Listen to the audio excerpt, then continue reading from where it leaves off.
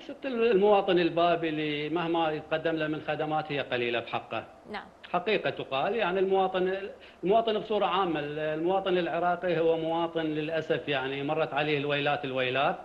آه، فالواقع الصحي ذكرت لحضرتك كبنى تحتية موجودة ككوادر راقية ولكن هو الخلل بعدم توفر المستلزمات أبسط. يعني أقدر أقول لك أبسط المستلزمات الصحية ما موجودة.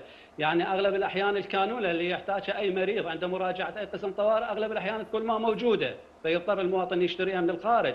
كذلك العمليات قبل لا ينقطع الاتصال بوقتها لك المريض اللي يريد يسوي عملية لازم يشتري كل كل الاحتياجات يشتريها. منين يشتريها؟ يشتريها من الصيدليات اللي انتشرت بكثرة حول محيط المستشفيات بصورة عامة، يعني اليوم أي مستشفى تلقين اثنين أو ثلاث مستشفيات أو أكثر وتتوفر بها كل الاحتياجات.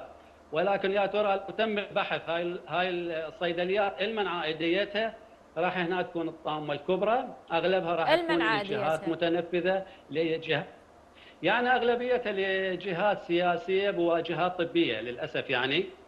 فيضطر المواطن يعني يشتري كل شيء وهنا تكون الإنسان البسيط يعني وين ينطي وجهه؟ يعني الإنسان اليوم اللي يريد يسوي عمليه وما عنده إمكانية. فلذلك صدقيني يعني واقع يعني مأساوي راح تمر عليه به وتمر به الكثير من العوائل يعني من تجين. نعم. الشغلة الثانية جشع جشع بعض الأطباء حتى بالعيادات. يعني اللي لاحظته شخصيا أنا أكثر من مرة دققت به. مريض من يروح يعني إذا انفلونزا بسيطة يمكن تنتهي بفلاوت آه، قيمته 1000 دينار.